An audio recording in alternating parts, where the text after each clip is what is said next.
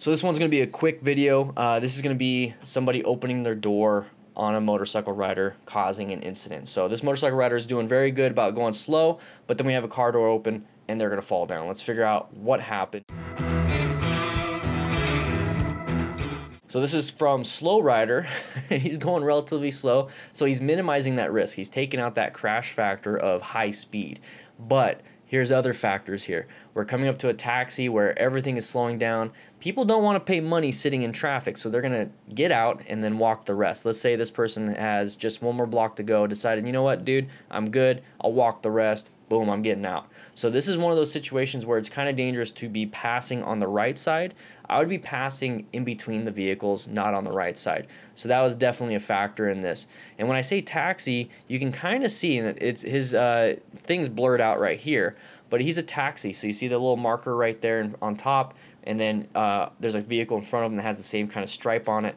So that's going to indicate that it is a taxi um, that is one of those big deals that it's uh, it's not good to be passing on the right. So we have the brake lights appearing right here, and then we have the door starting to open up. So we have to start watching for doors and, and different things when we're on the right side. Typically, you don't have to watch for doors if your lanes filtering in between vehicles because they're kind of in the mode of traffic. They're still moving. Uh, the ones on the right can easily just pull off to the side, unload, and go. So that's one of those things you have to watch out if you're to be passing on the right. So let's when we're passing on the right, let's watch for those doors starting to creep open and minimize our speed. And he's doing good with the speed, but this is what I was talking about. You can have good skills, you can have uh, good search, evaluate, execute, or you can have terrible search, evaluate, execute, great skills, you know, any combination thereof. So if we're not seeing the hazard, if we can't see the hazard, guess what? All the skill in the world is not going to save us this right here, we need to see hazards. We need to start thinking. We need to start uh, uh, hazard perception, all these different things.